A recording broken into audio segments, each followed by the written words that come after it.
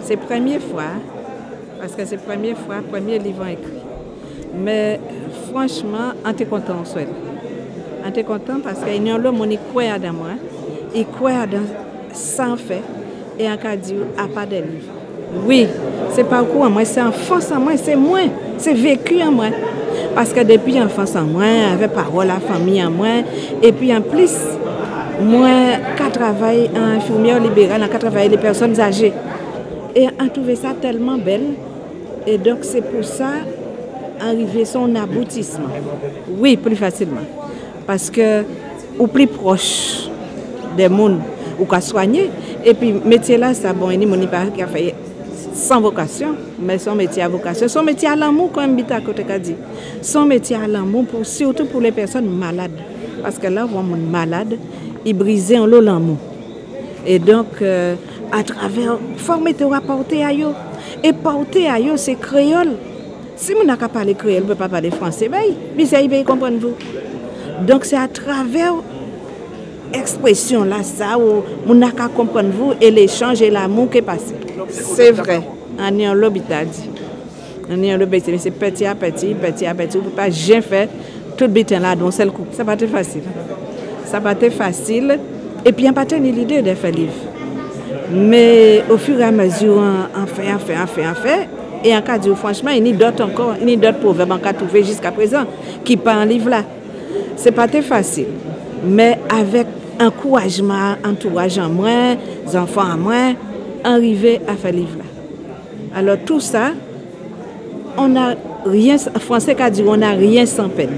Et c'est vrai, sans peine, nous pas rien. Il faut ou, ou, les moyens, il faut, investir pour arriver à n'y il faut croire à des rêves. Oui, en cas de en, monde public là, c'est ça que vous voulez dire moi?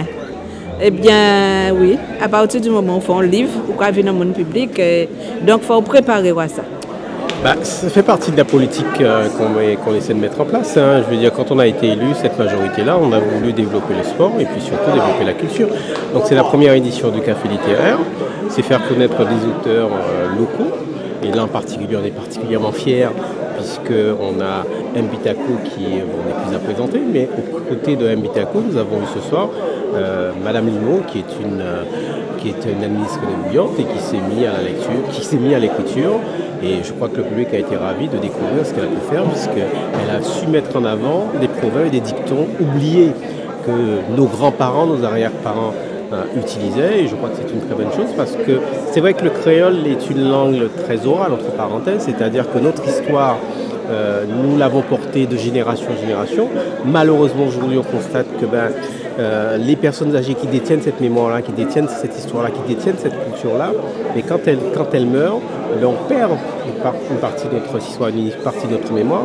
Et je crois qu'il faut saluer le travail fait par Madame Niveau, puisqu'elle a su mettre par écrit ben, cette partie euh, cette part immatérielle de notre, de notre patrimoine. Et je crois que ce soir, la, population, les administrés qui, ont été présents, puisque la quasi-totalité des tables étaient remplies, ben, cette, cette population-là a pu apprécier euh, d'une part les prestations, en tout cas la présentation faite par Madame Limon et la présentation faite par Amiteco. Ben oui, forcément, c'est vrai qu'aujourd'hui, nous sommes en train de rénover euh, la bibliothèque qui doit devenir une, une médiathèque. pardon. J'espère que les travaux seront terminés d'ici la fin de l'année. Donc en 2019, donc, on devrait avoir en tout cas un outil qui permettra ben, d'asseoir cette base, euh, euh, cette, politique culturelle sur notre territoire. Et je crois en tout cas, par le succès de cette manifestation de ce soir, ben, ce café littéraire, cette première édition, devrait, devrait être suivi par une deuxième édition. Ben oui, parce que vous savez, quand vous êtes sur un territoire comme le nôtre, euh, il faut bien que les gens s'expriment. Alors, jadis, on s'exprimait par le sport, par la culture. Et c'est vrai que pendant de nombreuses années, ces deux pans-là ont été un peu sous-exploités. Mon objectif avec ma majorité municipale, c'est d'impulser, de, de, propulser ces deux aspects, la culture d'une part et le sport, pour que Bouillon brille. Et quand on rajoute tout ça à notre, à notre particularité, à notre topographie, à notre environnement, je crois que ce sera quelque chose de très bien pour les populations qui vivent sur nos territoires, mais aussi ça va renforcer l'attractivité de notre territoire.